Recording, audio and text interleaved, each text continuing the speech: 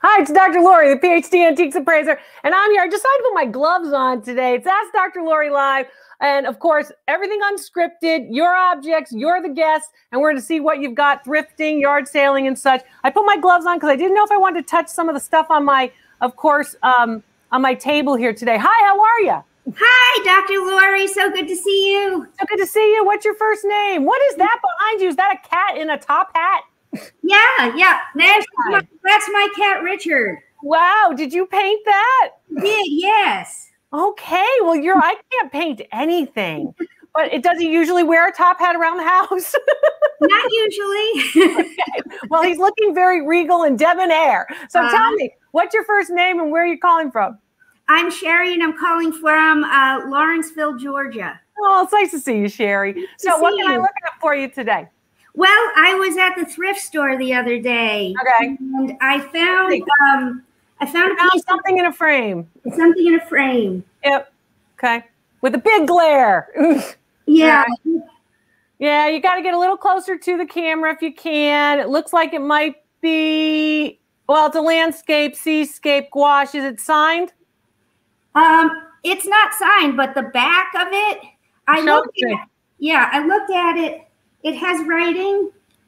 Yeah, which says what? It says 19, you've got contemporary, uh, uh, you've got contemporary framers points on it. See those little contemporary framer points? So somebody put that back together at some point within the last 10, 15 years.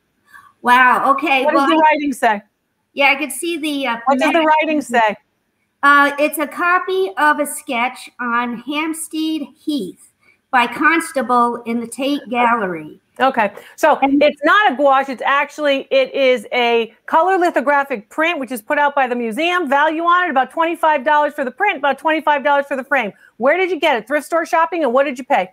Well, it says E.S. Nevinson. What did you pay? What did you pay? I paid two dollars. Okay, well you did okay for fifty.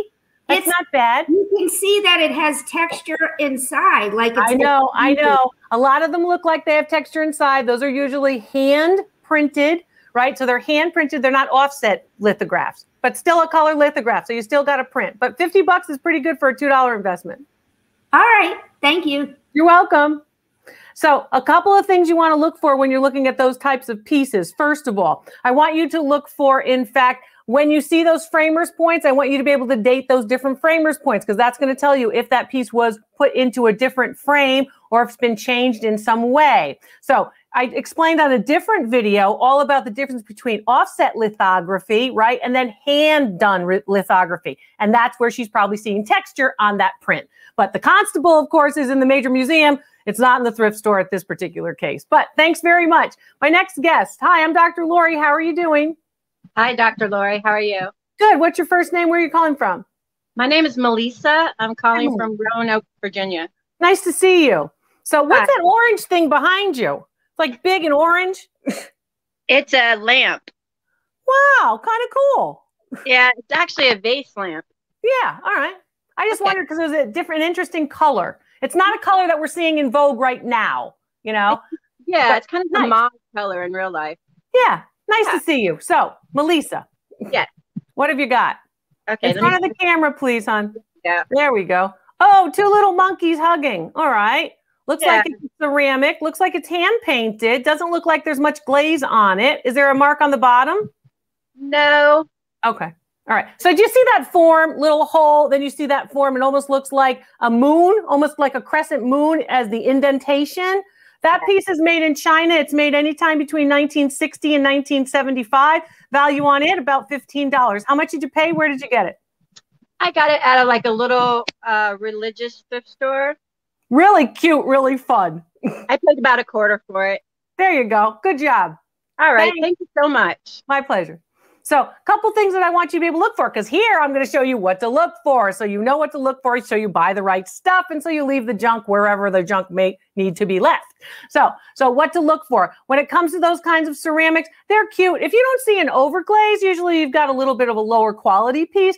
But that was fun for the two little pieces. Thanks very much for the super chats and the super stickers. And thanks very much for joining me too. I'm Dr. Lori, the PhD Antiques Appraiser. Have you signed up and subscribed to my newsletter yet? I hope you have because there's all kinds of information there too. The newsletter, of course, on my website Go there, put in your email address, and then when we send you out the newsletter, of course, you will receive it. There's no reason for you to do anything else. Just wait for the newsletter to come.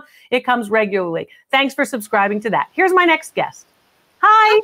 Hello, Dr. Lori. Hi, how are you? I'm good. How are you? Good. Your first name and your where you're calling from, please. Yes, uh, my name is Megan. I'm calling from Washington State. Hi, Megan. So, what Hi. have you got? An owl Yes. So or I have, three? I, yes, I'm the one who wrote and said I have three owls. Okay, well, let's see. You have three owls, and you asked if they were or a set, right? Yes, they all look Okay. really similar. They're just slightly different. Now, you sent in an email to the website, and someone asked me this question, which is how I know because all of this is unscripted. I have not seen your owls, Megan, correct? Correct. You have not. Okay, so a couple of things. Have you signed up for my newsletter? Yes, ma'am. All I have ago. Okay, just checking checking on you, Megan. All right. Anyway, so can I see the bottom of um, that owl, please? yes. Okay. Can I see the bottom of the other owl? Just choose another one. My father collected owls for years and years. He collected owls, all different kinds of owls. He liked wisdom. You know, he's interested in education and wisdom. So owls are that, of course. Okay, next one. Then the third one. Yeah, the third, the third one. Did you get these at a thrift store, yard sale, estate sale? I- get 'em? I got them at a thrift store. Now the back of them, they're for Yep. hanging. Yep. Yep. Yeah. They're for so- hanging on the wall, but you know what they're made from? They're actually made from a particular mold that are used in pottery classes. My cousin and my aunt used to go to pottery class at night, you know, at the local high school, that kind of thing. And they go and they make things, a cookie jar, a basket. They make nice things. Uh, that's what those are. That's why you have three. They're pretty popular in the 1970s for pottery class. These people were a little bit better than mass-produced pieces. I think whoever painted those knew what they were doing. They're pretty high high-end students, if you will. So each one worth about $25. What'd you pay? I paid two fifty for all three of them. There you go. Oh, even better. I thought you were going to say 250 each. Good. Good. Very good. Terrific. Well, nice to see you. Thank you so much. My pleasure. So she asked me if those were a set. And in fact, they were considered a set. They would have been united and put together. I would think most people would have put all the owls sort of grouped together, that kind of thing. There are a lot of those 1960s wall art pieces that are ceramic for the bathroom or for the living room or for the den, you know, what we, the man cave, we'd call it today. And they usually come in, in threes. You know, the law of thirds usually have three things going together. So that's pretty common. Are they a set technically? Well, they are actually a set. You could you could sell them individually, but in the 60s they would have been purchased and of course displayed in a set. So that's great. Thanks very much for the super chats and the super stickers. Why? Because they help support the page. Of course, the channel. They help me to make new videos with my staff and of course the producers. So I appreciate you doing that as well. I'm Dr. Lori. Here's my next guest. Hi. Hi. Hi, how are you? Good. How are you doing? Good. What's your first name? Where are you calling from? My name's Rebecca, and I'm calling from Virginia. Hi, Rebecca. What question do you have for me? Because I'm going to give you the expert answer. So, um, I'm new to looking for jewelry, and I found this pin here. Okay. Um, and all I could find about it is I think it's um a Scottish uh kilt pin. Can I see this? Can you hold it up this way? It would be intended that way. Okay. And can you just tip, just tip it, just tip the top? There you go. There you go. Okay. Is it marked at all? Does it have a mark Yeah. on it like 835 or not or 800? Any of those marks on it? It has the lion passant. Okay, so it has the lion looking left, which is the image of the animal, the lion looking left. Yes. Okay, all right. has, And it also has what looks like a C clasp. Yes. If you watched one of my videos, I teach you guys all about how to identify those. Did you see those videos? I did. jewelry. Okay, I hope that was helpful. So you Yeah. have a uh, sterling silver, uh, Scottish kilt pin value on that. Oh, time period for that piece. That piece probably dates between 1940 and 1960, and value on that piece is going to be anywhere. Well, I'd say about $100, maybe 125 on a good day. Okay. Thank you. How much did you pay? Where'd you get it? I paid fifteen dollars. It Mhm. was at um it's kind of an antique store and they have a lot of pins and brooches and they always sell them all for fifteen dollars. Every pin and brooch in the store is $15. Except And for would- a couple that they have a different price on, but they have boxes of just $15 pins and brooches. If that's the case, get out your loupe, which you of course can buy at drloriv.com, the specials and shopping page. Yes, good. Yes, I do get compensation when you purchase a product, but they're my recommended products. And I want you to go through and look for every single every single one of those the next time you're there. I want you to look for the marks that are on drloriv.com that are, of course, those fineness marks for silver, gold, platinum, and others. Good for you. Congratulations. Nice to see you. Thanks. Great. Love to hear that. So 125 for a $15 investment and something pretty interesting too. Remember, the markets are going to impact jewelry markets are of course always going to be impacted by style, fashion, what's in vogue. I'm Dr. Lori. This is Ask Dr. Lori Live. Thanks for joining me. My guests, of course, are all of you. So thanks so much for being with me. Hi, I'm Dr. Lori. How are you? Hi, Dr. Lori. It's Patricia. Hi, Patricia. Where are How you are calling you? from, Patricia? I'm calling from New Mexico. Okay. So, have you called in before? You seem like I should recognize you. Um, I have called in once before, and you um, appraised a Tarkay for me. Okay. You know I evaluate 50,000 objects a year last year, so remembering everybody, I apologize. A little tough. So, That's tell me, what have we got? I'm glad it's okay. Thank you. What have we I got, found- honey? I found another Tarkay. Okay, let's see. I didn't get as good a deal on this one as I did the first one. Okay, so how much did you pay for this one? I paid 250. Can you get up close to it? Sure. It has um, it actually has the um, a printers, a PP. Let's see if I can do this. A printer's a printer's proof basically indicates that. Now you'll notice all this texture that all of you were talking about. So a lot of people get confused and they think that that's not a print, but in fact that piece is a print. Print. So you paid that. You paid uh, two hundred and fifty dollars for that piece at a, a thrift store, at a, a antique shop, At a secondhand store. at a secondhand store. Value on that one's going to be about five hundred dollars. A printer's proof and other, of course, marks and symbols that relate to prints also on the channel. So look for prints, and they're also on my website too, where I indicate what that means. Good for you. That's a good deal. Not the best deal, but a good deal. Paid about half half price basically. So not bad, not bad. But don't be confused that when you see texture, texture is automatically always going to be an original. But that's a nice Tarkay, and Tarkay, of course, very well known. That's a great piece. I like these pieces. Let's see some ceramics. Have we Oh. done any ceramics? Hi, it's Dr. Hi, Lori. How are you Dr. doing? Lori. How are you? Uh. Elena, I'm calling from Los Angeles, California. Hi, Elena. Elena, did I get that right? Elena, or, Elena. well, or Elena, uh, if you want to use Elena. Italian. There you go. Okay, go. so Okay. I have a piece of art for you, All right, let's see. and it's right here. I took it out of the frame. It's a watercolor. It's signed right here. I think it says Angel M. Rodriguez. uh, So right, so you took it out of the frame. I took it because it it has a glass, and I knew Elena, it was Elena, Elena, Elena. Elena, Elena, Elena, hold it. One more, one, one question first, honey. Just let me let me get my bearings. First of all, you took it out of the frame, and right now it's it's in front of the glass frame. Is that what you've done? Yes. So you're leaning it up against the frame. yes. Okay, that's what I wanted to know. The buckling on the top. Can you show me the buckling on the top? It looks like it's buckled, which means there's some water or moisture toward the top. Back up the camera and look at those. See all those striations? That's yeah, there you go. See it? That's water damage. Okay, so now you were saying something before I stopped you. Go ahead, No, no. Um, so I the I don't know who it is. Yeah. I, I have no idea the value of it. Uh, Okay. it- It's signed and dated January, well, in Spanish, enero 65. Okay. That's a good And- time, January of 65, I've got to say. Great, great year. Great Okay. month, great year. Very good. And these are the two volcanoes, uh, the Popocatépetl and the Iztaccíhuatl. And this is seen from uh, the Puebla side. Mexico City would be on the other end. On the other side. Wonderful. That's Yeah. terrific. I think it's a very well executed watercolor. Can you back up so folks can see the whole piece? We're looking at one tree. There you go. Thank you. honey. There we go. Very well executed. It is in a period frame. What does that mean when I say that? That means that that frame is probably from 1965. Actually, this is not the frame. That well, well, that frame is of that same period. It's the same style that we typically see. Value on that. Yeah, I want to know if you have your t your Dr. Lori says t-shirts on.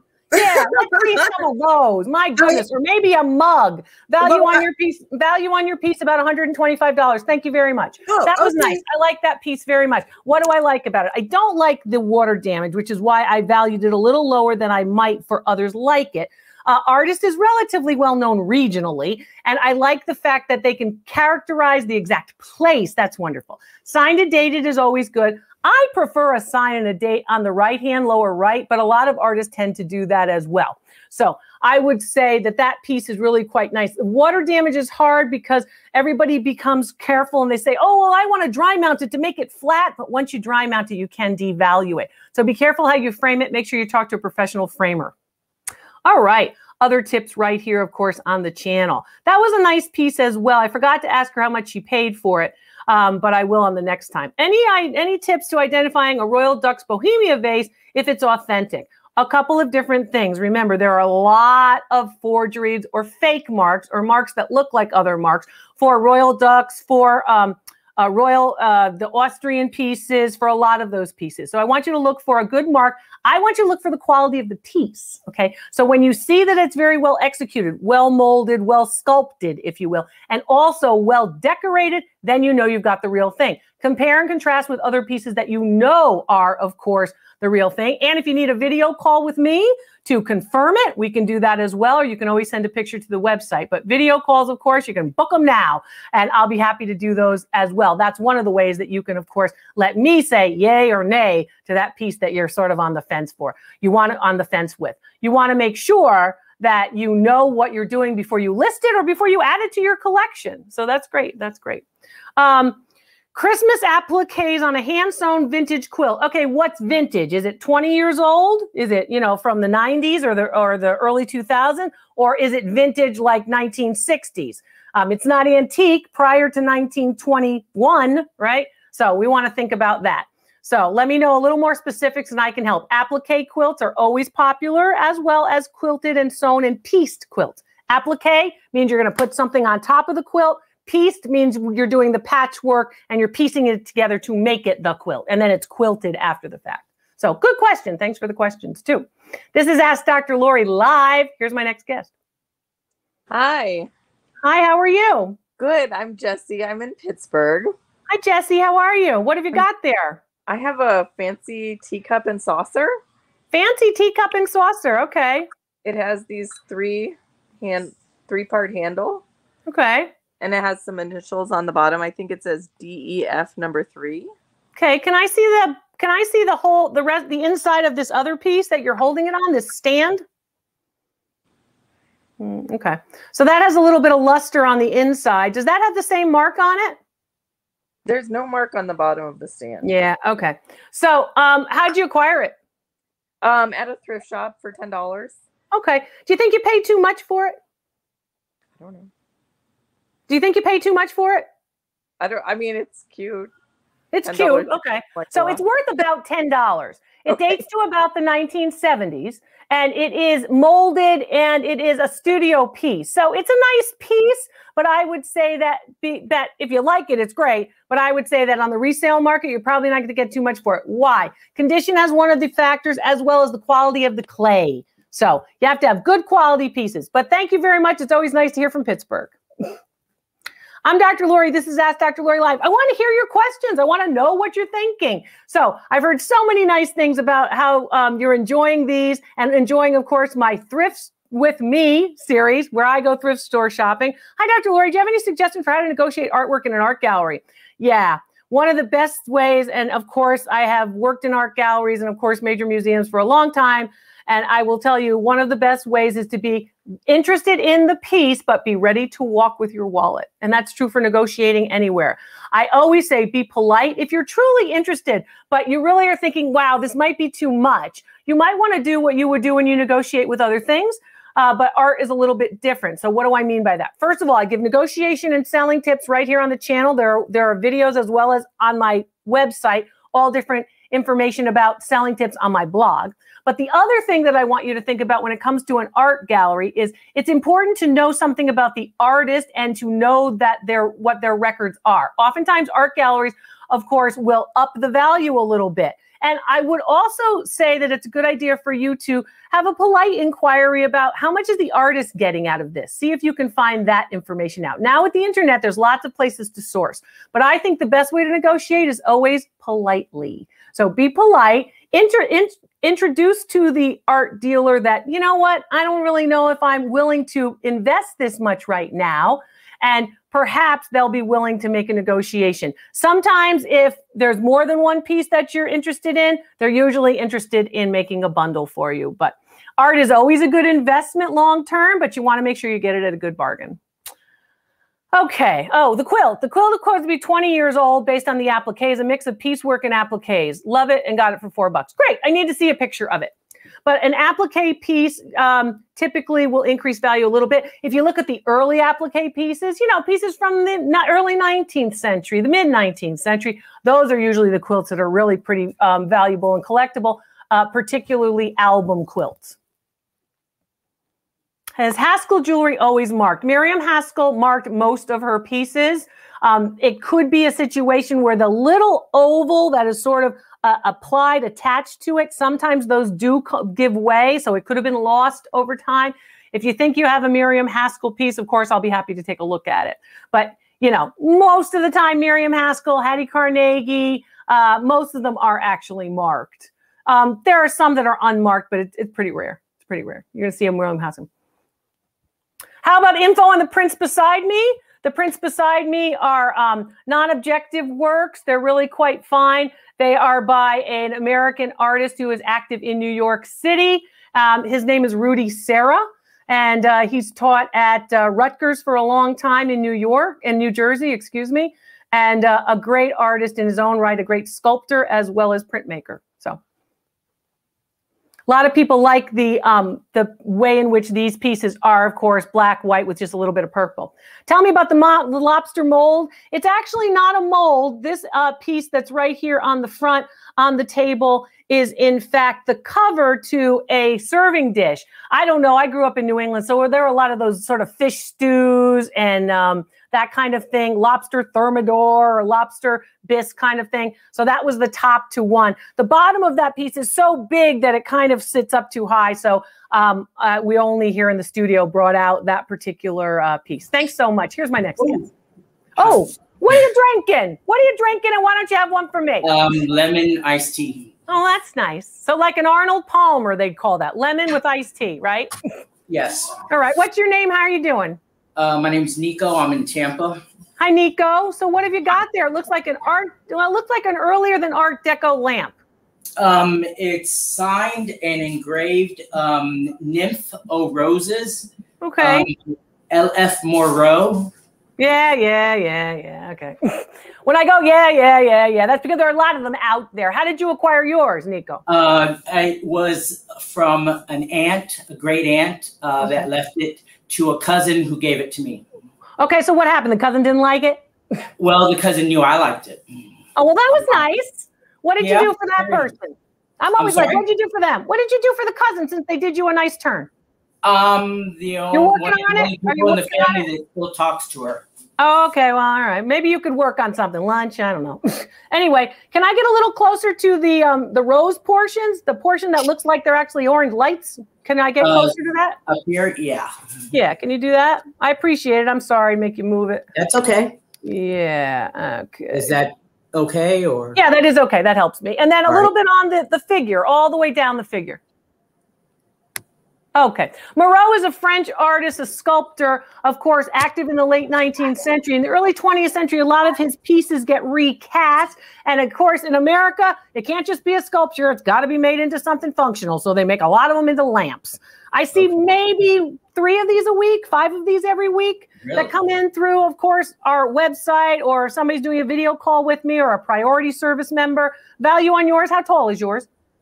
Um, 24 inches, 23 inches and a half. 24, that's pretty good. That's a pretty good size. So that one would have probably been for a newel post when you walk down a staircase in the late 19th, early 20th century. And then, okay. of course, the sculpture's there. Value on your piece is going to be about $350.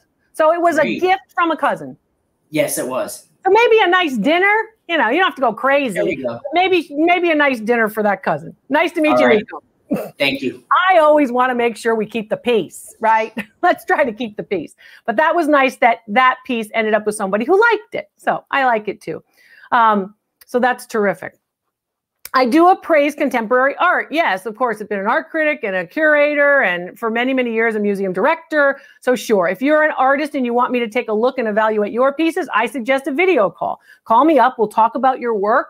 And of course, I can do that. A lot of people prefer that. You don't know how much to ask. And now that's a great environment for artists, a great environment for artists to be able to, of course, resell their pieces. You have a Jack London Seawolf with a Jack London book plate to a friend Paul Eldridge. All right, 1930. First of all, we have to find out if you have the the first edition. So you have to look at publication date as well as publisher, as well as condition of the book. I want a nice strong spine. I talk about the values of old books on one of the videos. So again, use the binge link. You remember the binge link. use the binge link so you can of course look those up as well. And book jackets are always going to be, you know, dust covers. The book jacket is always going to be um, an impact for value. It's a great thing. It'll bump value up. Um, and oftentimes with novels like that, you don't see a lot of scra- a lot of um, notes in the margins or such. You know, I have a lot of friends in academia, and they're always putting notes in the margins. Uh, I have one relative who actually is a librarian, always notes in the margins. But collectors don't care for lo- notes in the margins unless they're, you know, notes from, you know, um, somebody else, some other author. Hi, I'm Dr. Lori. How are you? Oh, I'm on. You're on. Hi, honey. I'm Gail from California. I'm doing great. Hi, Gail. I, I just am new to you, and I just think you're fantastic. So Thank you. You're so nice. I'm going to put on my gloves so we can be fantastic together. How does that Okay, sound? I come with a warning. I come with a warning. I have Parkinson's, so if I shake, it's not because I can't. I mean, All right. Well, I'm happy that you're here and let's, let's promote a little bit of awareness. So, what do we need to do? What do we need to do to help those? My parents had Alzheimer's for a long time, all of these different situations. So, when it comes to something like Parkinson's, we just have to be a little bit patient, right? Absolutely. Patience works. There you go. Nice to see you. Show me what you've got. Okay. I've got this. It's a mourning piece. Right. It certainly is. And when you say it's a mourning piece, that means that it's a late 19th century piece of jewelry that would have been worn at a funeral or to mourn someone even after the funeral time has passed. Right. Okay. It has the jet beads on it. They're all jet. Right. Okay. So the black beads are jet. For those of you who don't know what jet is, of course, like onyx, a lot of people confuse jet and onyx, but jet is more typical. Is that sterling silver and is it marked? You know what? I haven't been able to find it. I just kind of got it. Um, Here's some of the places you might look. You all might look. So you've got this nice big pendant, right? I want you to look along these areas of the pendant. Okay. Okay. I want you to look along the sides of the pendant, not only on the back. Oh, it's not on the back. I can't find it. On the sides of the pendant often, or Mhm. also on individual links. It's relatively large. I would think it hits about here. it's 20 inches in length. Oh, 20 inches in length only? well, So yeah. 20 inches about here. I'm 20. This is 24. That's got to be a little longer than 20, I would think, but I, I'm not going to question you. So let's say it's between 20 and 24 inches with the jet beads. Value on that piece is going to be pretty high at $750. How did you acquire it? $2.10 at a thrift shop. Wow, that's outrageous. That is outrageous. Yay, good for you. Yeah. Yay! So 750 because it is, of course, um, the sterling silver, it's jet, it's late 19th century mourning pieces people do look for. There's a big collecting community out there for them. Wonderful piece of jewelry. Congratulations to you. Yay! Yay! And a lot of folks here would love to wear that necklace. That's great. That's great. Thank you. Nice to see you. Thanks. Much. So mm-hmm. yeah, see lots of cool stuff, cool stuff. Mourning pieces, pieces that relate, of course, to something in culture. So the Victorians were very, very interested, in fact, and had you know big problems with, of course, death. So as we all do, but basically, uh, much of their culture was related to, of course, continuing to support and continuing to deal with and address the dead. Remember, you know, Queen Victoria, in fact, wore black for 10 years after Prince Albert died. So that idea, of course, of mourning and showing your respect for the, those who you have lost is something that we typically see. Mourning jewelry relates directly to Victorian culture, and that's why that's so valuable. Also the quality and condition of the piece also makes the value have an impact. That's a nice piece. Hi, I'm Dr. Lori. How are you? I'm great. I'm Elaine from um, Union, Missouri, and I have Hi, my Elaine. piece here. How are you doing? Look at that. That's a nice piece, isn't it? Yeah, I thought so. How So did you acquire it? I got it in an auction with a lot of eight others, and I paid about three dollars for it. Okay. So it has a stopper and it has two handles that can kind of connect at the top. It looks like there is a transferware design, an image of a woman on it. If you took the stopper off so the, you don't break the stopper, is there a mark on the bottom of the piece? It looks like it's ceramic with Yes. some gilding. Yes, it's uh, I thought it was Austria. Uh, let's see. It has a crown mark in Austria. Right, right. Okay. So how much did you pay for it? Where'd you get it? An auction? You paid Uh, three dollars? Yes, Okay, so it came in a lot. Can I see the front of it, please? uh, that's the front. So time period for it is also uh, Victorian. That piece dates uh, just about 1901, which is just about the year that Queen Victoria passes away. That piece dates to about 1901. I would say value on that piece. How tall is it? Is it six inches? Six inches. Six inches. Value on it about forty dollars for your three dollar investment. Nice. I like it. All right. Thank you. Thanks for everything My you do. pleasure. My pleasure. My pleasure. That's great. Yeah. So lots of things. Now, that particular piece with someone's face on it, a lot of people like those pieces. Me, you know, my opinion, I don't know. Having someone's face looking at you every morning when you're trying to put your makeup on, I don't know, not my thing. You know, kind of like, you know, hair buns, not always my thing. But, you know, that's just my opinion. What are the hottest items you're seeing uh, the most of this summer? What's hot this summer? Here's what I'm seeing architectural salvage. I'm seeing uh, American Brilliant Cut Crystal. I'm seeing uh, vintage, um, vintage Louis Vuitton, vintage um, Coach, which is really only goes back to 1941. I'm seeing those pieces. What else am I seeing? Colored glass, colored glass, colored glass. I'm seeing a lot of it, and not only Murano, all types of colored glass. I'm seeing that coming back hot. And um, 1980s prints. That's what I'm seeing this summer. Yeah, yeah, yeah. Lots of cool stuff. Um, sunglasses as well. So, you know, those big Vuarnet sunglasses and those big Nina Ricci sunglasses from the 70s that Jackie Kennedy Onassis used to wear. So, London is 1904, the century coming with his Wolf book plate. I'm interested in the impact of his personal library on the book plate in good condition. Yeah, I've got to see it. So I'll be happy to take a look at it. And yes, it will have an impact. When you have someone else who has a connection to that particular piece, it will increase value. So we have to get a baseline for all of the books and then, of course, talk about provenance and how that particular piece has more value. So thanks for that. That's great. I appreciate it.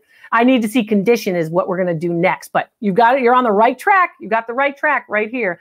I'm Dr. Lori. This is Ask Dr. Lori Live. Um, other questions, of course, other guests, if we've got them. And my opinions on what you've got is what I'm giving you. Don't forget to watch those videos about, of course, thrifting and what to look for. And if you can value these pieces, I'm going to teach you all different kinds of um, ideas and items. Don't forget to sign up for my newsletter, subscribe to that. It will help you, of course, with more information. Subscribe to that newsletter at drloriv.com. I'm Dr. Lori. This is Ask Dr. Lori Live. I'll see you next time.